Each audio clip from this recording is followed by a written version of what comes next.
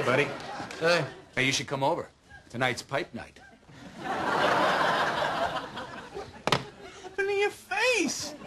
It looks like an old catcher's mitt. What? Look at that. Face is all craggly. It's crinkly.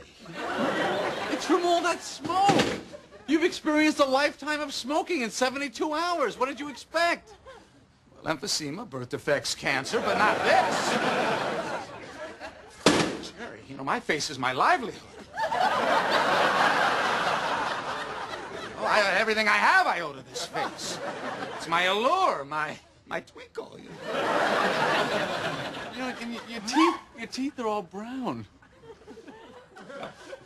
Look away, I'm I'm hideous.